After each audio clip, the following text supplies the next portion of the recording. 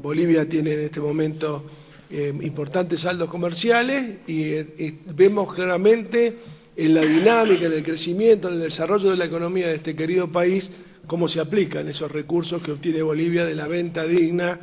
y soberana de sus recursos, en este caso el gas. Eh, también los dos presidentes dijeron que tenemos que superarnos, como decía el vicepresidente Álvaro, en el sentido de profundizar la letra de los acuerdos de complementación energética. Argentina ha recuperado su empresa de bandera, como es IPF, Sociedad Anónima, y teniendo un 51% del capital accionario. El presidente de la compañía me acompaña, el ingeniero Galucio, y también el compañero eh, Carlos, que es el presidente de IPFB,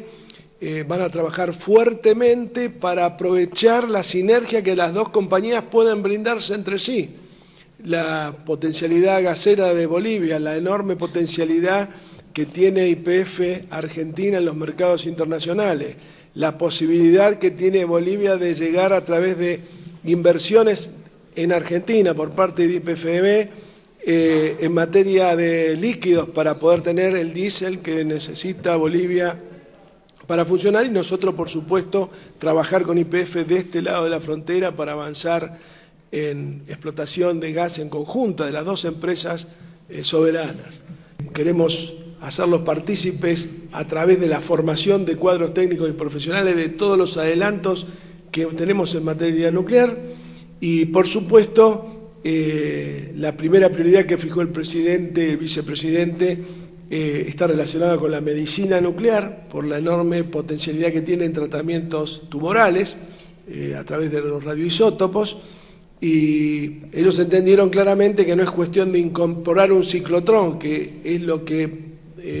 elabora y genera los diagnósticos y tratamientos, define los tratamientos y la zona de tratamiento de las enfermedades tumorales, sino tener todo un sistema nuclear que apalanque eh, la presencia de la medicina eh, nuclear en Bolivia. Si no, siempre estamos con lo que nos venden empaquetado del resto del mundo y no podemos generar nuestros propios desarrollos tecnológicos.